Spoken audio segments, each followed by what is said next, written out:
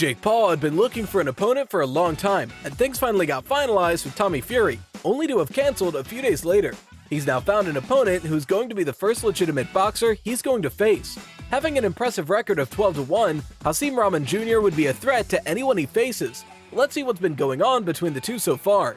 Jake Paul versus Tommy Fury is dead again, and maybe for good. Me and my team this morning arrived at Heathrow Airport, ready for the press conference, ready to fly out. And as soon as we entered the airport, I got pulled to one side and I was told by the Homeland Security officer that was there that my ESTA had been denied and I wasn't able to travel to the USA for a reason that I apparently know.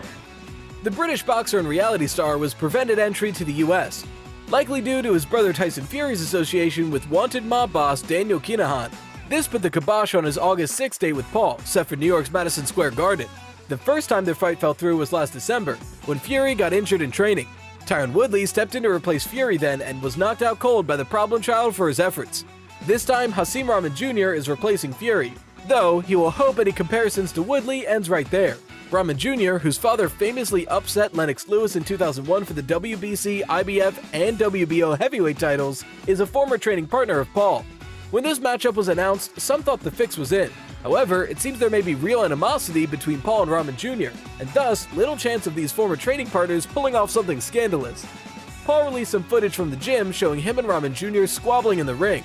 In the clip, Rahman Jr. appears to be angry with Paul, talking, and promises to knock out the YouTuber. Now who's the, says Rahman Jr., squaring up to Paul. You want to talk shit to a pro athlete? Because really I come in here and knock your ass out. That's what I really do. You started on to talking I, about then I'm going to finish it.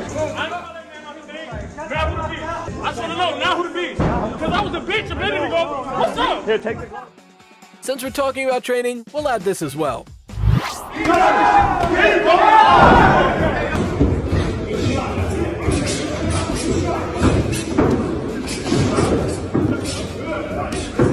Jake said, I've wanted to fight ever since Hasim ran his big mouth to me two years ago in the gym. My brother and manager didn't want me to take this fight.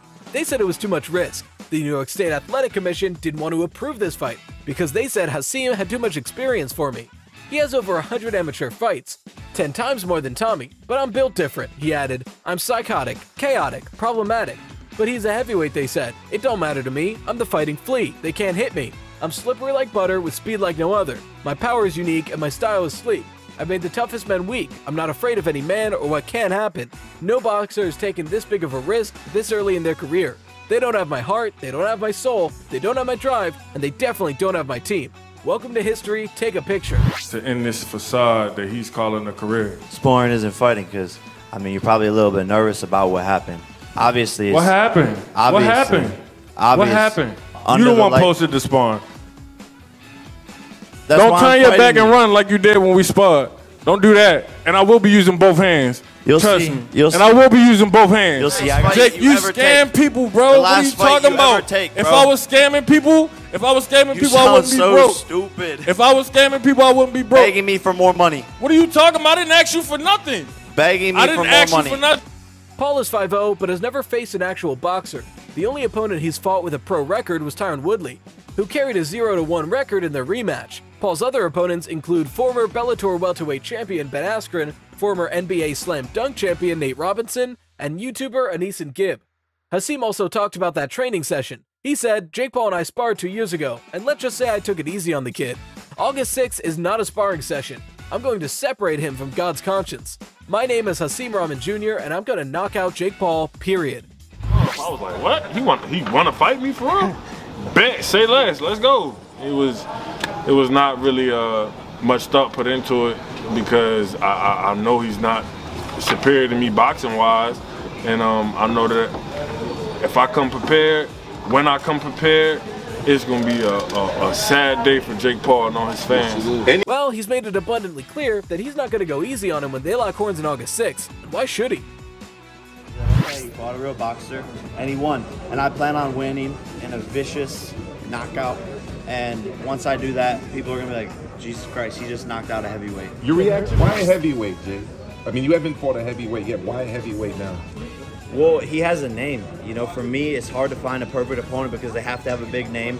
Uh, they have to be a, a good fighter. They have to be a professional boxer. I wanted to check that off the list, and so he just fit the whole entire description. And I know what I'm capable of. If I'm knocking everyone out at cruiserweight, then why can't I knock out someone? Both cruiserweights have the power to stop an opponent before the end of the fight, and they've both proven it on numerous occasions. The son of the famous Hasim Rahman Sr. has picked up a decent amount of stoppages.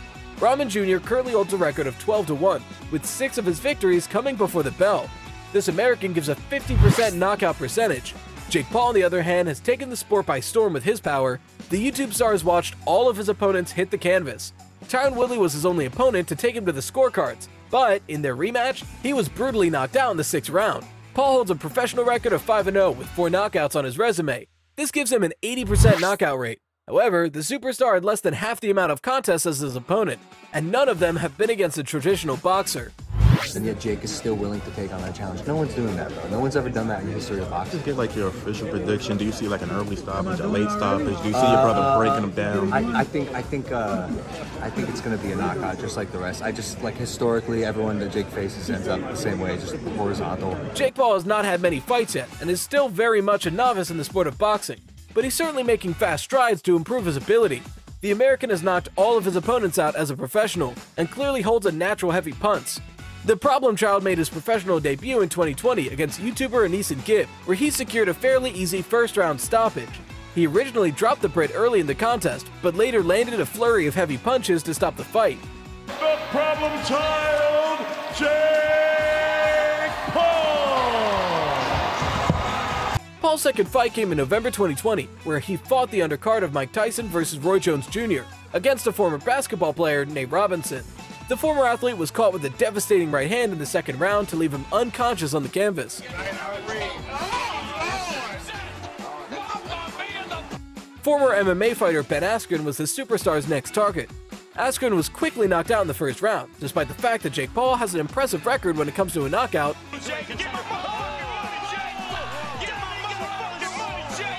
The fact is that none of them were a legitimate opponent. This could still be the reason people close to Jake Paul have warned him of Ramy, because he indeed is a dangerous customer. Your previous opponents have all had some kind of uh, notoriety outside the boxing world, whether it was Tyron Woodley or Ben Askren or Nate Robinson, even Tommy Fury, who you were going to fight, was a you know a reality show star in the UK on Love Island. What made you choose him as the opponent and on short notice? Well, for me, I've just wanted to fight a professional boxer since knocking out Tyron Woodley. Um, and I've been trying to do that since Tommy Fury pulled out the first time. I want to check that off the list. I want to show people that I can knock out a professional boxer. Um, and so Hasim Rahman Jr. is a heavyweight. He's bigger than Tommy Fury, stronger than Tommy Fury. His dad was the heavyweight champion of the world. He has more amateur fights than Tommy Fury. So crazy. I want to prove to the boxing world that I'm a real dog, which I am, and I'm gonna go in there against this 12 and 1 kid who's bigger than Tommy Fury, faster than Tommy Fury, all of these things, and I'm going to put on the performance of a lifetime and just shut everyone up.